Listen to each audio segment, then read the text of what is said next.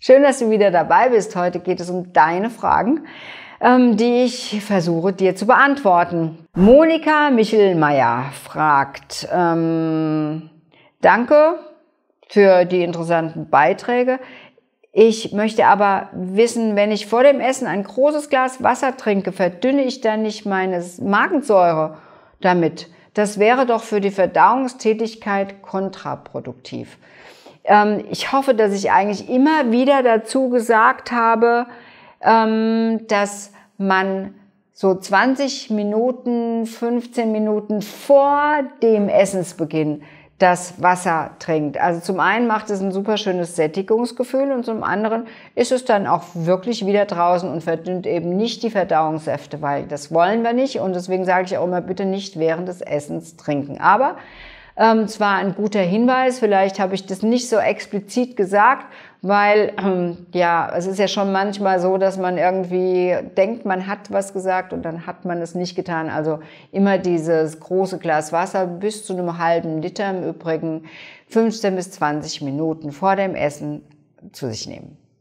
Ähm, ja, ihr habt ja immer Fragen an mich, aber ich habe diesmal auch eine Frage an euch, weil ich lese ja immer in den Kommentaren und ich finde es immer ganz toll, was ihr so schreibt. Und ihr schreibt mir, dass ihr das Intervallfasten praktiziert. Ähm, einige, seitdem das Buch rausgekommen ist, letztes Jahr war das im, im März und andere haben es jetzt erst irgendwie ähm, entdeckt und haben jetzt erst angefangen.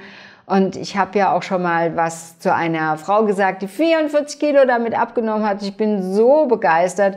Ich würde einfach gerne wissen, ja, wie viel habt ihr denn damit abgenommen? Wie viel hast du denn damit abgenommen? Hast du damit vielleicht auch zugenommen? Das wäre ganz toll. Das ist meine Frage an euch. Und vielleicht schreibt ihr einfach unten in die Kommentare euer Erlebnis rein, weil das würde mich natürlich interessieren, weil abnehmen oder zunehmen, das ist ja immer so ein, so ein Thema, das eigentlich immer en vogue ist, ja. Und jetzt gerade in der Zeit, wo es doch dann bald wieder wärmer ist und man zeigt mehr nackte Haut draußen, ist es natürlich nochmal ein ganz spannendes Thema.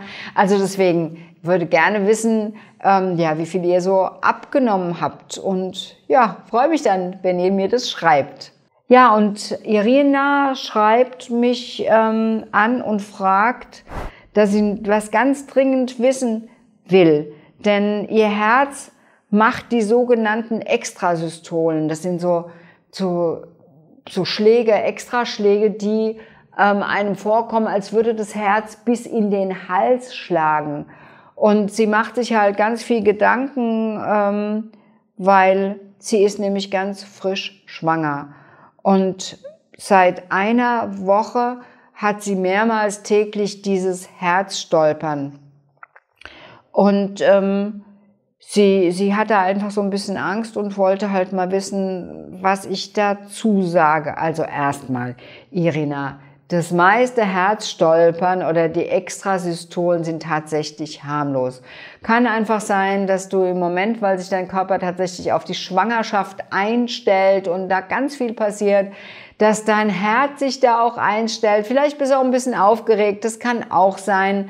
Ähm, Schau einfach, dass du so ein bisschen in die Ruhe kommst. Gewöhn dir vielleicht jetzt Achtsamkeitsmeditationen an. Also da gibt es einfach auch bei uns auf dem FIO-Kanal wunderschöne Übungen dazu, die du, die du dir selbst angewöhnen kannst, dass du wirklich so ein bisschen mehr dich jetzt um dich kümmerst, dass du zur Ruhe kommst, dass dann auch dein Rhythmus und dein Herzrhythmus wieder normaler wird.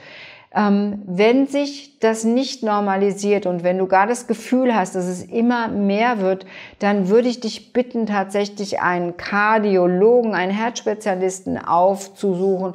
Der untersucht dich dann und wird dich mit ganz großer Wahrscheinlichkeit beruhigen können, weil dieses Herzstolpern, das ist in den allermeisten Fällen harmlos und vor allen Dingen, wenn man so jung ist und wenn man dann noch frisch schwanger ist wie du, ähm, würde ich doch schon sagen, hast du eine 99,9-prozentige Wahrscheinlichkeit, dass dem so ist.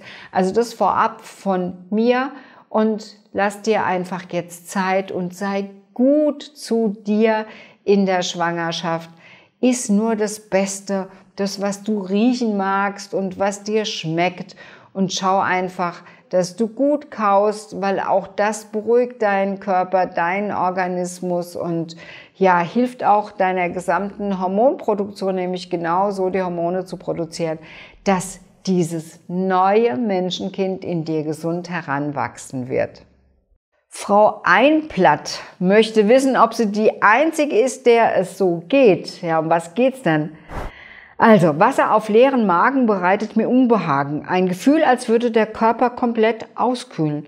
Ja, wenn das Wasser kalt ist, ist dem auch so. Ich kenne das auch und das mag ich meistens nicht. Nur im Sommer, wenn es richtig heiß ist und morgens auch schon heiß ist, dann ähm, trinke ich das Wasser einfach so, wie es eben aus der Leitung kommt. Ich habe ja Osmosewasser zu Hause und es ist ja dann gefiltert und so weiter, aber es ist dann einfach Normaltemperatur und das trinke ich dann so, wie es ist. Aber im Winter mache ich mir das Wasser warm, weil ich mag nicht frieren und ich möchte gerne, dass ich mich wohlfühle. Und deswegen mein Tipp an dich, einfach das Wasser schön erwärmen, sodass du es einfach magst. So vielleicht so 40, 50 Grad. Mehr magst du wahrscheinlich nicht haben, aber das ist richtig angenehm und es macht dann auch dieses angenehme, warme Gefühl im Magen. Und das ist schöner als ein kaltes Gefühl.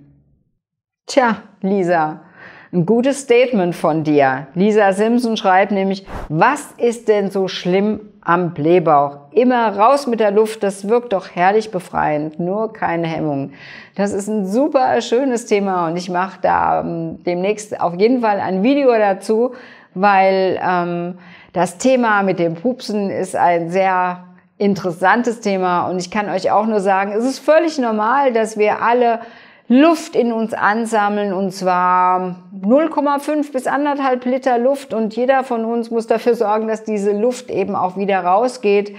Ähm, es ist nun mal gesellschaftlich nicht unbedingt von Vorteil, wenn man ähm, dies laut tut und in Beisein von anderen, weil es können ja auch übelriechende Qualitäten dabei sein. Deswegen ist es schon nicht so ganz easy mit dem Blähbauch und ähm, man sollte schon auch gucken, dass man die Luft im ja, irgendwie im Rahmen hält, dass es nicht zu heftig wird. Deswegen die ganzen Tipps auch, die ich in Videos schon ähm, euch gegeben habe, was ihr gegen den Blähbauch machen könnt. Aber generell Luft hat jeder und das wollte ich einfach mal gesagt haben und es gibt da noch mal ein spezielles Video dazu. Ja, das war's für heute. Freue mich natürlich wieder über eure Daumen nach oben, die wirklich so fleißig nach oben gehen. Dankeschön dafür.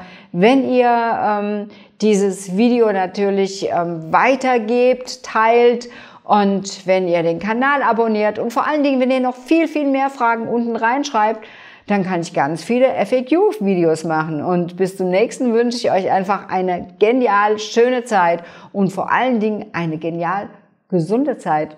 Bis dann!